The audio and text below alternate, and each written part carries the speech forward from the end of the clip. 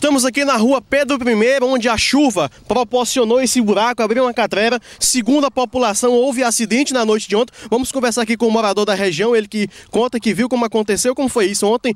A pessoa se acidentou aqui devido a essa chuva. Foi no momento da chuva? Foi na hora da chuva, às 8, às 8 horas, pelo eu vim vindo, aí vi um rapaz de moto, Aí vim, passou por mim, vim aqui, quem ia cair era eu. Na hora que ele veio, bateu aqui, que é escuro, eu pensava que tinha batido até no, outra moto. Mas quando eu ele, ele estava aí dentro com a moto, caiu bem lá. Eu fui ajudei a tirar ele dentro da, do buraco com a moto, arrebentou a moto toda na frente dele, quebrou tudo na frente da moto.